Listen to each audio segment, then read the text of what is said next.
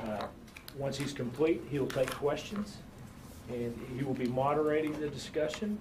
Please limit it to one question and one follow-up. That allows everybody an opportunity to try to get a question in. So without further ado, General Horlander. So good afternoon. Uh, great to be back here again and see some familiar faces here. And uh, uh, I really appreciate the opportunity to uh, present to you the overview of the Army's 2018 uh, budget request. Uh, more importantly, I will tell you I am uh, even more so pleased to be able to continue to serve our great country in uniform as an Army soldier. Uh, so that's always something that inspires me. Um, I'll take a few minutes here and um, in the process of providing an overview of what the Army is doing today, I'll sketch out the current operating environment, uh, what our fiscal posture has looked like over the last five to six years, and how this request supports the administration's and the Army leadership's uh, priorities. And then, of course, I'll spend some time providing a by appropriation review of some of the details of the Army's request. America's Army is increasingly more and more active in worldwide operations across the globe. I would offer to you that the current pictorial on the slide before you not only represents some of the current operations where Army forces are heavily engaged, but it should remind us all of the velocity of instability across the world and how this same pictorial will continue to change in the years to come. This observation alone makes it increasingly clear that the ability to simultaneously conduct decisive action, major combat operations while maintaining our counterinsurgency competencies for the current fight represent the most demanding challenge that the Army faces. Properly resourced and trained, a ready Army can perform successfully across this full spectrum of operations, but it must also continue to advance its capacity and capabilities for tomorrow's conflicts. Today, ground forces remain the most globally committed U.S. military force, with more than 180,000 U.S. Army soldiers from the active component, the National Guard, and the Reserve committed to combatant command missions in over 140 countries worldwide. America's soldiers directly contribute to our nation's efforts to defeat ISIS, support governance in Afghanistan, and deter conflict throughout Europe, Asia, and the Middle East. This steady demand for trained and ready Army units provides our nation with the ability to defeat adversaries, assure our allies, and deter potential aggressors. While this chart depicts current operations where America's Army is engaged, the next fight could represent an existential strategic challenge posed by peer powers. Some with nuclear capabilities, advanced technologies, and large and more sophisticated militaries. While it is difficult to define with precision the character of future warfare, its broad outlines can be anticipated. We should plan on all domains of warfare being contested, a technologically sophisticated and numerically superior enemy that initially possesses positional advantage. These anticipated attributes of future warfare demand a continued investment not only in current competencies, but the Army's future capacity and capabilities in order to protect America's national security interests both today and tomorrow. Conducting current operations, sustaining current readiness, and making progress towards a more modern, capable, and lethal future Army will require predictable and consistent funding year to year. The Army's FY18 request takes important steps to improve readiness and close some vulnerability gaps while supporting the groundwork for a future force ready to face the changing threats of tomorrow.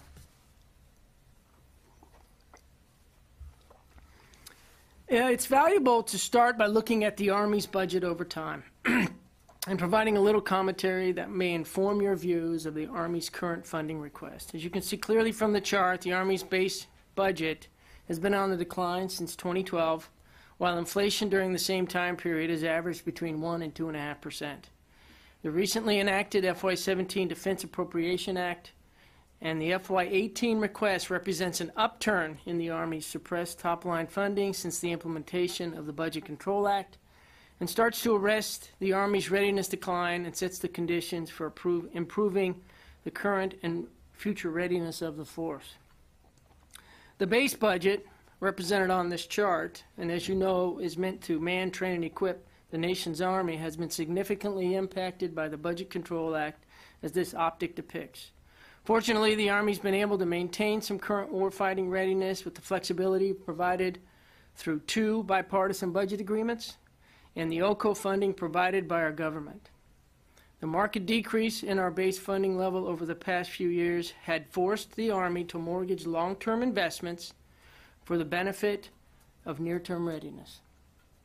Likewise, in OCO, not fully represented on this chart, as large contingency operations have become smaller, the Army's OCO budget has been reduced consistent with the requirements of the contingency operations we are supporting. As is clearly portrayed on this chart, the funding levels of the recently enacted 17 budget and this 18 base request are consistent with the administration's goals for the U.S. Army to rebuild readiness, reverse end-strength reductions, and prepare for future challenges. With this FY18 President's Budget submission, the following are some of the main highlights of our request. First and foremost, the budget has been formulated to provide the combatant commands with the best trained and ready land forces that we can generate. To do that, we must fully fund the counterterrorism and counterinsurgency competencies necessary for the current fight, while also building decisive action capabilities for potential major combat operations consistent with the threats that some near-peer nation states may pose. That requires the Army to increase its global responsiveness capabilities and support regional engagements and partnership activities with our allies. The budget request further sustains a force of 1,018,000 soldiers across the total Army with realistic and specialized training and the best maintained equipment we can provide. We were able to focus some of our resources on the Army's installations and infrastructure needs to better support the operations and training of the force. With this budget, we are able to sustain the Army's modernization programs and invest in programs to advance soldier and technological overmatch capabilities. We do all this while seeking to achieve the highest levels of accountability and stewardship to maximize the purchasing power of the Army's budget.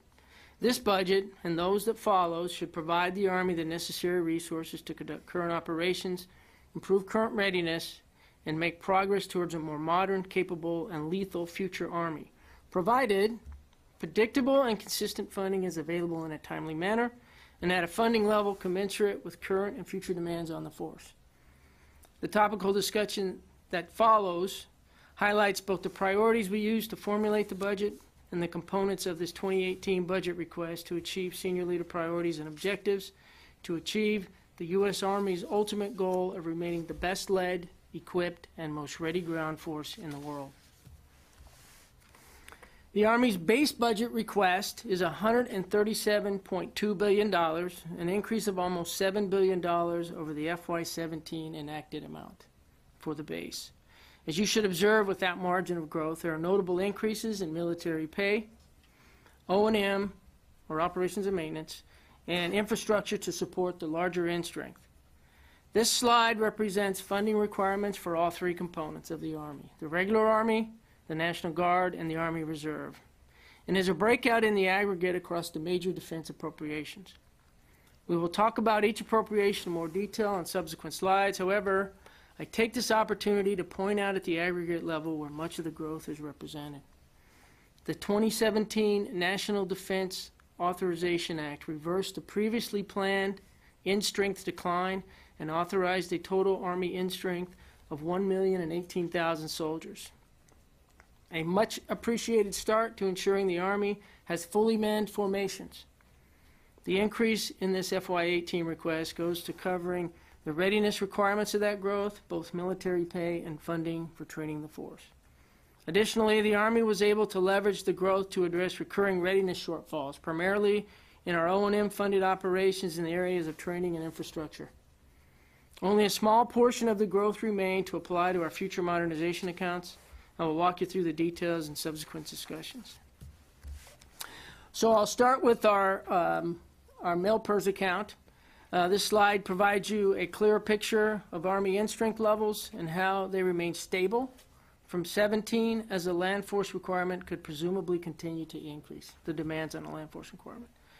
Many of you are aware that the U.S. Army end-strength has declined markedly in recent years across all three components.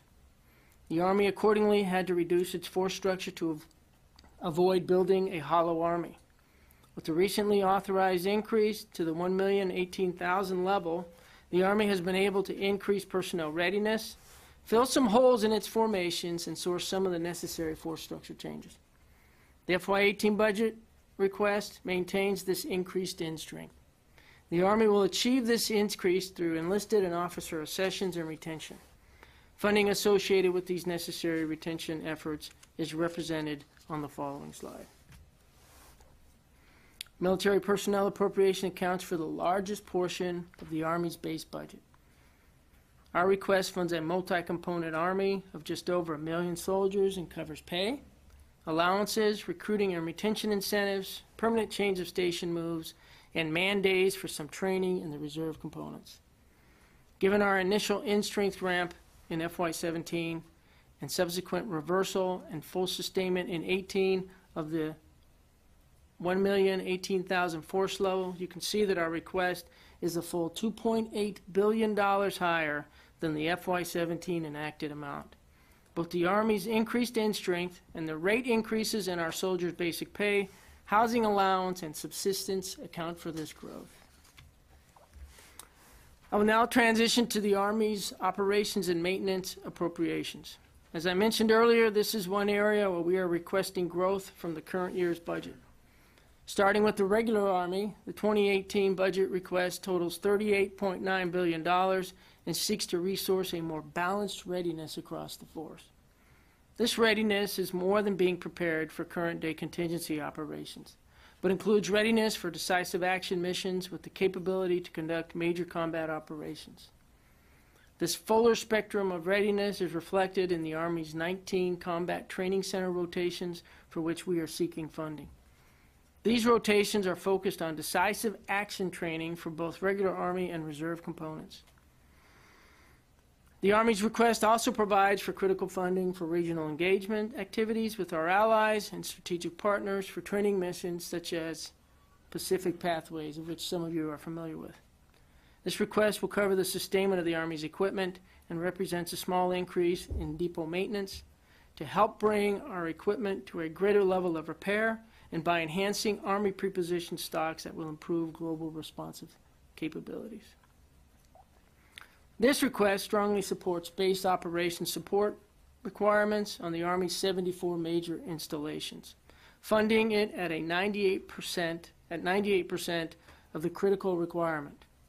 Fortunately, we were also able to increase facility sustainment funding from 67% of the critical requirement of last year to 75% for this for this year. These funding levels are consistent across all three Army components and while they represent an improvement over recent years, we still assume risk across our installations, as a large amount of backlog maintenance still exists across the force.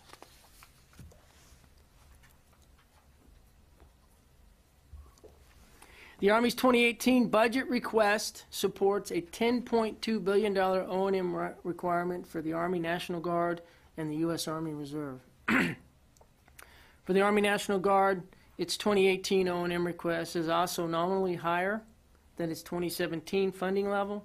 Consistent with the regular Army, it seeks to restore readiness and base operations support, as well as provide funding to continue supporting family and soldier programs that promote the well-being of the Army's most valuable asset, our people.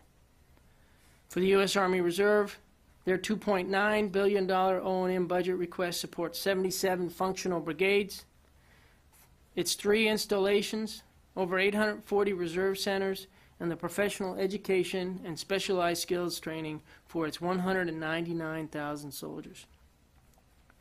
Having spent a few minutes discussing Army near-term readiness and manning the force, let's now transition to Army modernization. The Army's FY18 Research, Development, and Acquisition budget request of $26.8 billion represents an increase of $600 million from the FY17 enacted level. That's an enacted level that includes uh, a pretty sizable uptick uh, uh, because of the amendment that was recently uh, included in the FY17 Appropriation Act.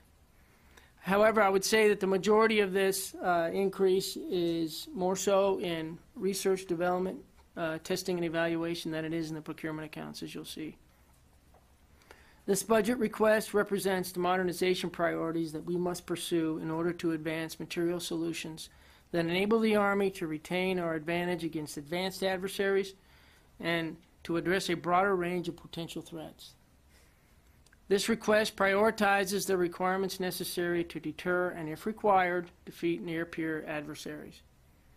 The Army is accepting risk in developing of new capabilities in order to prioritize incremental upgrades of our ground and air systems so that we can put in the hands of our soldiers in the near term a, a greater and more lethal capability. In the upper right-hand quadrant of the chart, you will see a list of the Army's top 10 modernization priorities.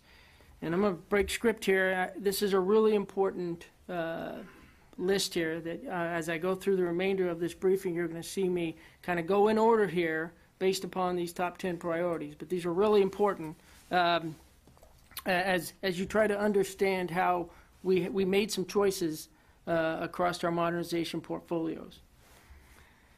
These were developed as a result of the strategic portfolio analysis review process to prioritize limited modernization funding in order to balance near-term readiness requirements against long-term force development.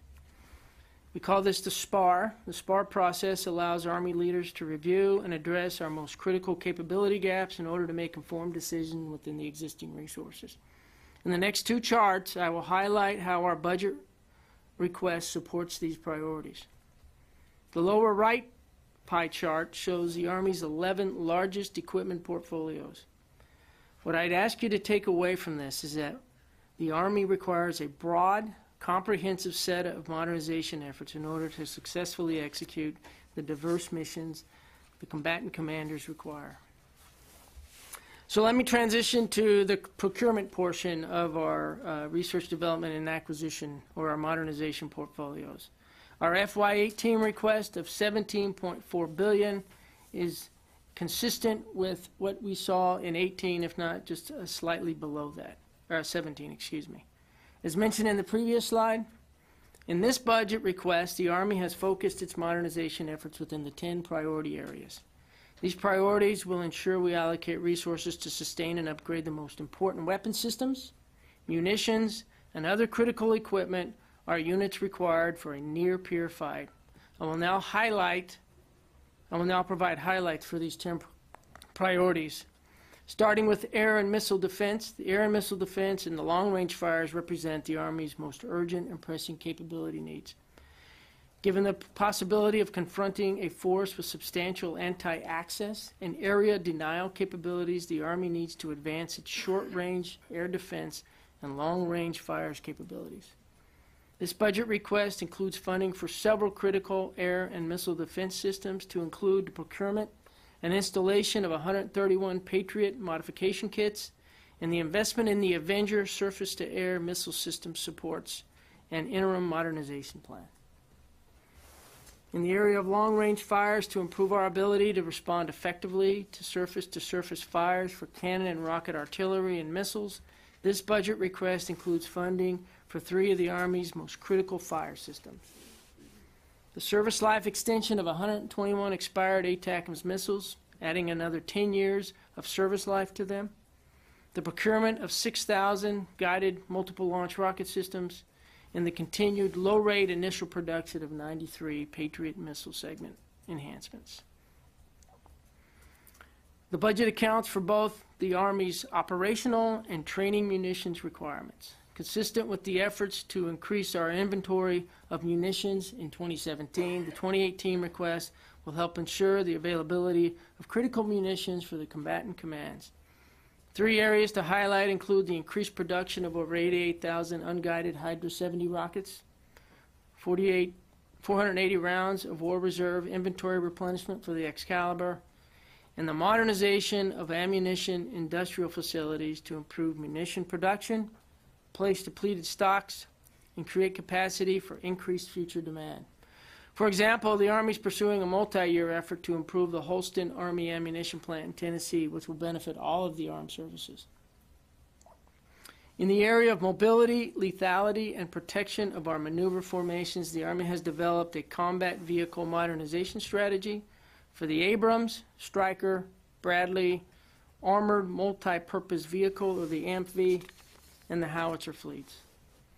This includes upgrades to both the Bradley and Abrams platforms and procurement of 42 low-rate initial production AMPVs. Additionally, for the Paladin Integrated Management System, the request procures full-rate production of 59 sets comprised of the self-propelled howitzer and the tracked ammunition carrier. The request procures commercially available active protection systems for the Abrams tank for installation on vehicles within our Armored Brigade Combat Team in Europe.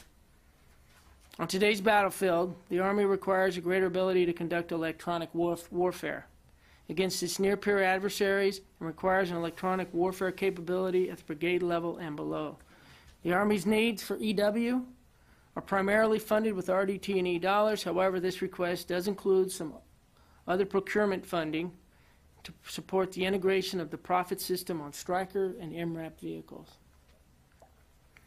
The Army is committed to eliminating network infrastructure capability gaps within the next 24 months and will procure new systems when possible to support network modernization.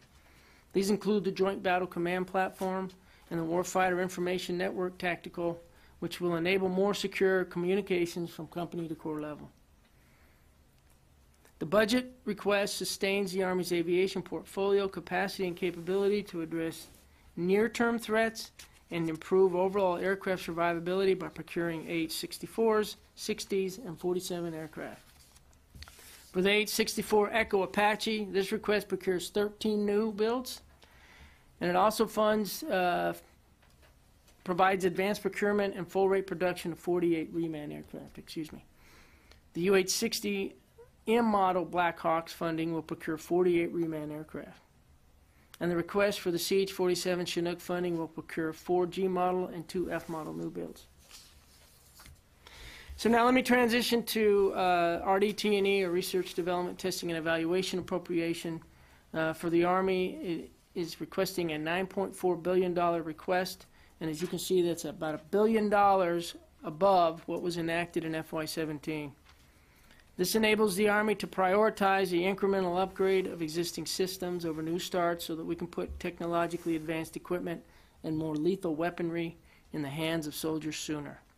The FY18 request includes $2.4 billion for science and technology funding, for weapons and munitions advanced technology, which will demonstrate a mobile high energy laser system to defeat multi, multiple threats at the tactical range. It will fund advances in combat vehicles and automotive technology, which will inform the next generation of combat platforms. And it funds aviation advanced technology efforts, which will provide transformational capabilities and component technologies for future vertical lift.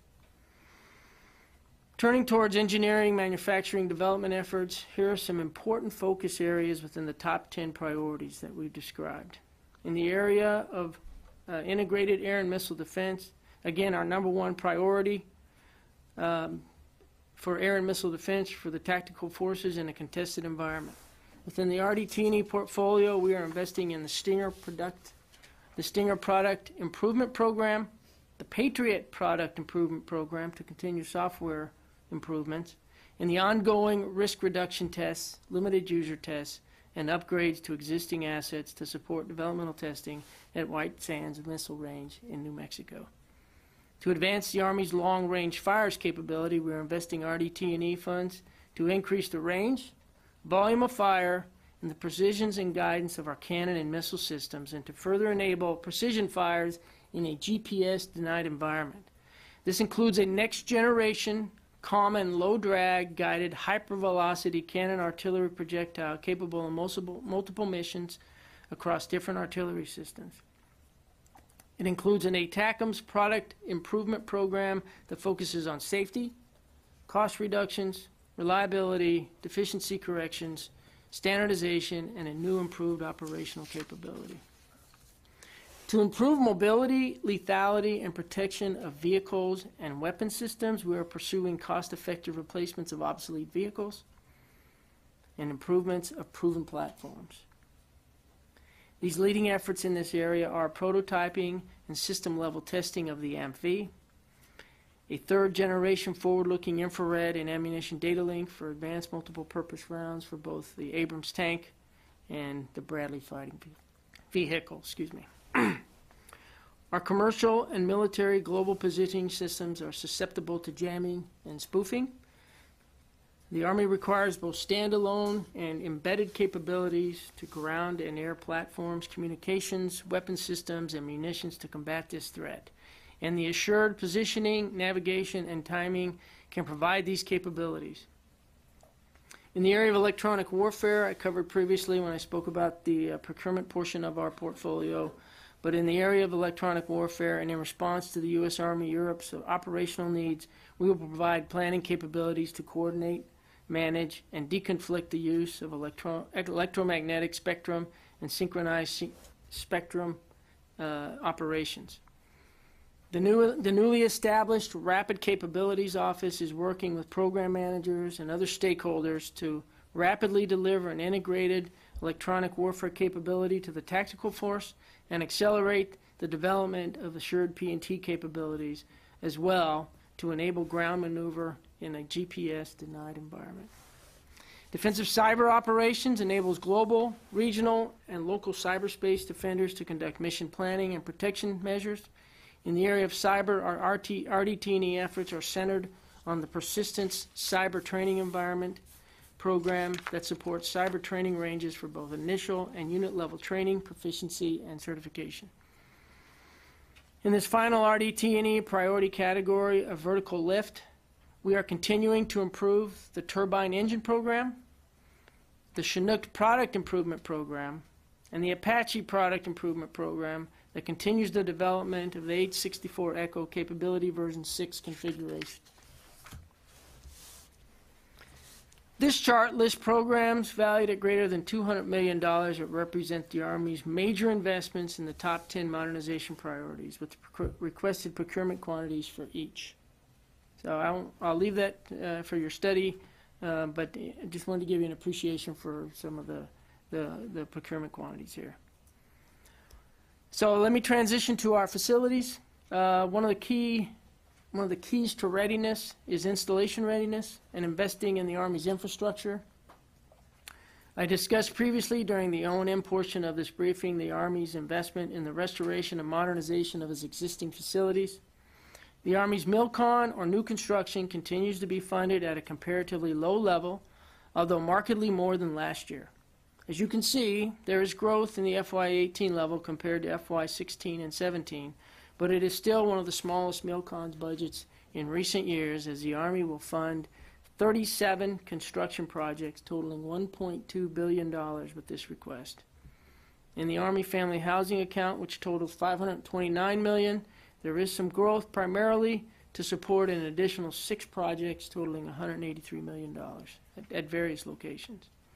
And lastly, the Army's FY18 BRAC funding supports environmental cleanup, restoration, and conveyance of excess properties at previously BRAC locations. Within the Army's budget request are several requirements that are managed and funded separately outside the main appropriations. This year's request includes almost $71 million for the Arlington National Cemetery. This goes to funding its day-to-day operations, and there are 29 restoration and modernization projects for this uh, for the Arlington National Cemetery. The Army is also requesting $962 million for the congressionally mandated chemical demilitarization program. FY18 funds support continued plant operations in both Pueblo, Colorado, and Bluegrass, Kentucky. As many of you are aware, the Army's been managing large overseas contingency operation budgets since, uh, since 2001. This has been an account that has ebbed and flowed as contingency operations have expanded and contracted over time. The Army's 2018 OCO budget request represents requirements in military personnel, operations and maintenance, and research, development, and acquisition.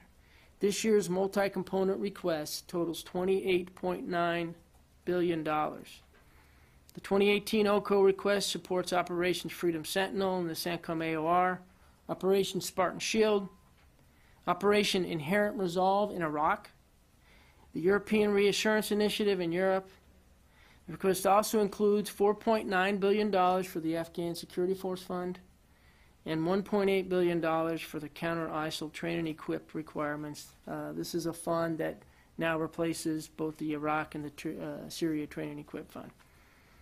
The 2.9 billion MilPERS portion of this OCO request primarily supports mobilized reserve component soldiers and maintains the current end-strength levels in Afghanistan and Iraq. So I know there was some discussion uh, in, in the previous, um, uh, with, with Mr. Roth and General Iardi up here. Right now, this, this request just covers what is currently uh, authorized and we have there in theater. The operations and maintenance portion represents almost two-thirds of the Army's OCO request and supports theater operations and support, transportation, force protection, support contracts, mobilization requirements, and resetting of equipment returning from theater.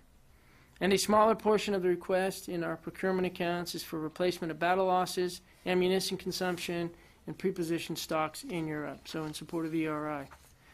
So I'd like to take a moment uh, because uh, ERI has become such a, uh, a pretty sizable portion of the OCO request, so I provide you a pictorial there, but this 18 request uh, represents about $3.2 billion to continue investing in the European Reassurance Initiative, of course demonstrating the United States' resolve and commitment to the territorial integrity of the 28 uh, NATO member nations.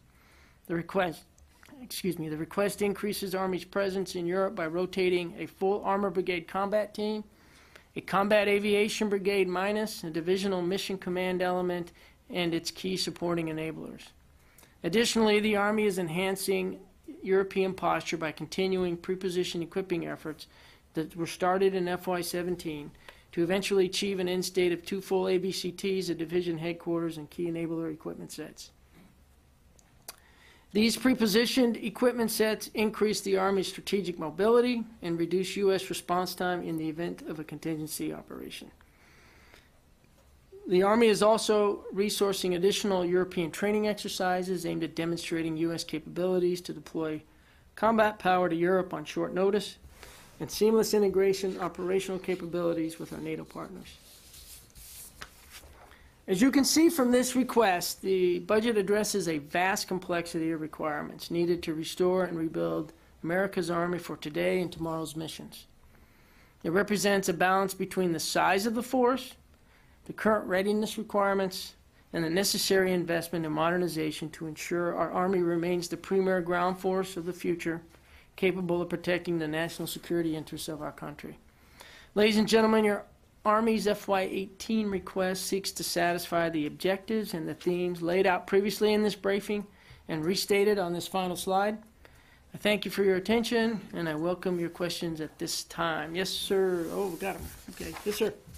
Um, so You mentioned you're moving kind of towards updating legacy platforms and away from new starts. Is that the ground mobility vehicle and mobile protected firepower vehicles? Uh, Last year were new starts that were supposed, uh, I guess, priorities for infantry brigades.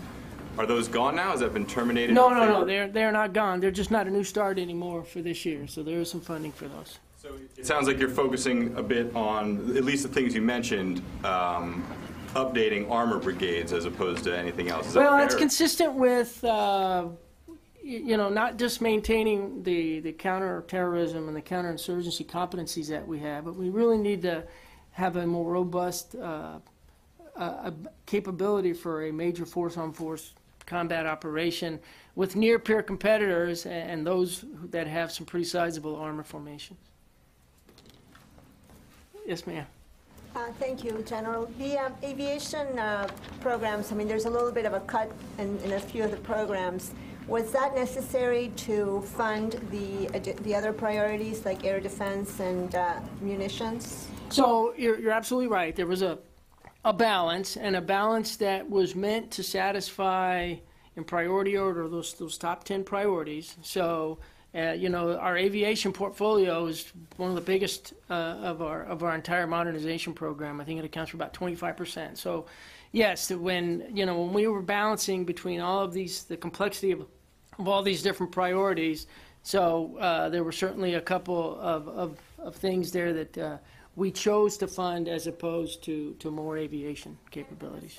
The priorities in general, I know that the leadership always says that the size of the force is not as important as how trained and equi- how well trained and equipped they are. So at what point do you have to stop growing the size of the army to be able to get the resources to train and equip the forces?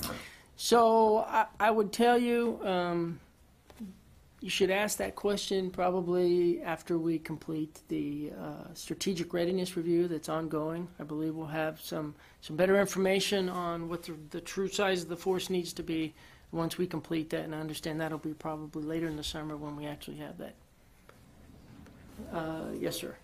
I'll get everybody, I promise. Yes, sir. Scott Moss, Maucione, Federal News Radio. Um, Where does the readiness money at this point get you to where, to fulfill your needs? You know, I mean, obviously, this readiness is not a, as this been a motif through this, it's not a one-year thing. So where does this get you to? Could more money get you somewhere else, or is this what you can just do in a year?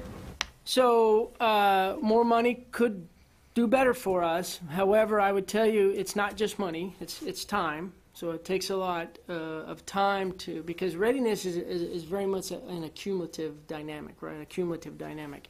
Um, what we more need than anything else is to have the consistent funding from year to year at, at a level that is consistent with the readiness we're trying to achieve. So right now, if we continue to perpetuate this, this funding level over a continuum of time, then we'll be able to achieve the, the level of readiness that we're, uh, we're trying to get to by 2021, 22 timeframe.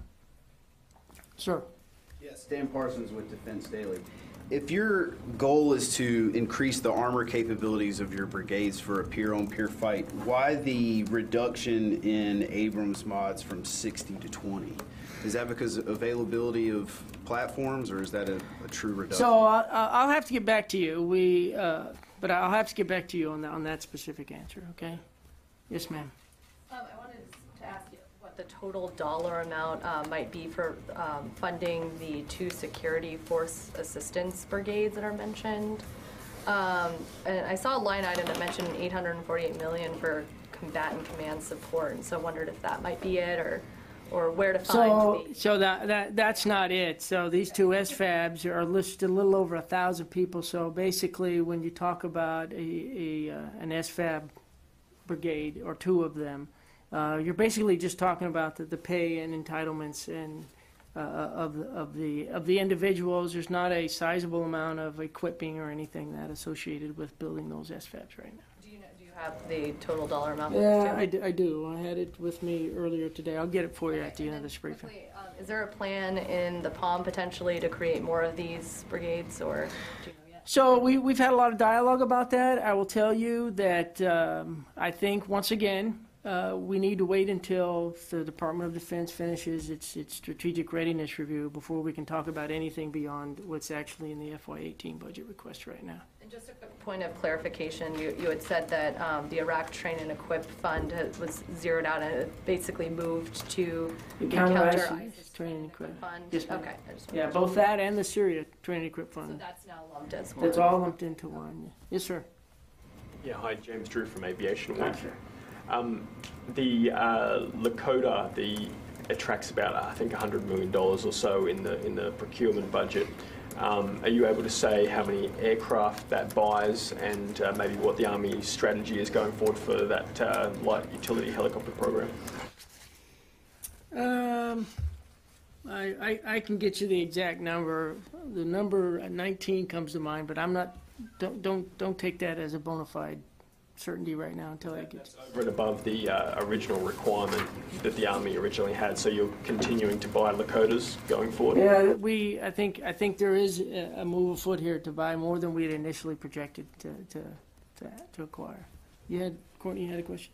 Um, I'm just wondering what the rationale is for placing so much of the vehicle funding in the OCO account. I noticed particularly Bradley, basically all the Bradley mod funding is there, along with um, a substantial share of the the Abrams upgrades and and so on. So, uh, because our, our, our primary focus uh, is for the, the- Brads and the Abrams, they're in Europe uh, and building out the two, the two APS, the ABCT. So putting it, putting it there was probably um, the right, the right place to put it because it's going to initially be applied to those, those fleets. Is that for So those will be applied to APS in Europe, uh, for Europe, uh, as opposed to going into units that are rotated in, or? So I think it, uh, initially, yes, it'll go towards the, the, the ABCTs there in Europe. Um, I'll get you, probably need to look a little deeper into that before, to, to give you a more complete answer, but right now I know that's where the priority is. Sir, this will be your last question. Okay, uh, yes, sir. Could you talk a little bit about, what was the bill, what's the, ARM from the 18 budget to grow? The ARM, the Congress directed you grow by 50 grand, 50,000, mm-hmm. I guess, mm-hmm. 26 in the act. What's the bill this year, and what's the bill in the FYDP? Dollar for, do- I mean, how much more does the, does the Army have to get to sustain the, the growth in this year? So to grow, to grow the Army from, as, as as you're well aware, we were in a, we were in a pr- pretty, well, we were going down to 450, we're 476, and so, uh, right now, be, fully burdened cost, we project it to be about 2.8 billion dollars, uh, for the, the entire 26,000 that you're, uh, referring to. That, that includes the training money, the installation support, and the, that was what we costed that out to be. That's in 18, and is that going to be annually then through the? So we, well, obviously, we'll have to have an increased, or a, a funding level commensurate with that growth in, in the continued years. So I don't see it go, it, it won't grow more, but it'll cer- certainly, to sustain that level, we have to have that, that, that increased amount of money. Because that's the bill going forward that you're going to have to keep, you're going to have to pay for in the budget, in the, in future budgets, that roughly 2.8 billion. Yes. That's a lot, okay. Uh, On the AM, the AMP, the AMPV, is the plan still to accelerate about 65 of those to Europe as part of the European reassurance? There is, Program? yeah, there is an acceleration component in this, in this request for 18. I don't know if it's exactly 65, but I think you got the number right. Can you say from, uh, you know, from X, from 2020 to 28, 7, 19, or, you know, what the acceleration is, or? So let me, let me double check. I think, it- I think it was a one-year ac- acceleration uh, increment, but let me, let me double check on that for you. All right, ladies and gentlemen, thank you for coming. If you have follow-up questions, please see Mr. Wayne Hall, and he will work those for you to get back to, to Mr. to General Horlander. Thank you. Thanks, everybody.